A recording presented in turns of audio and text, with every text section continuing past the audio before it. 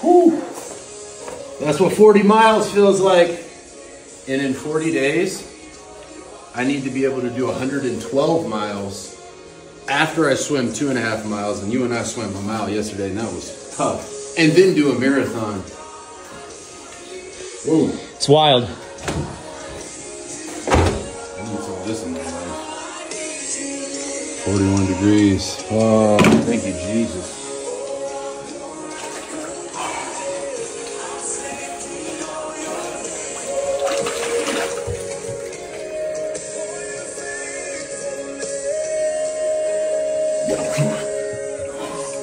move.